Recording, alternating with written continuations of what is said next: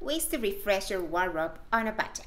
Make a capsule wardrobe. A capsule wardrobe consists in a set of tops, bottoms, dresses, outdoor shoes, and accessories that can be easily mixed and matched together.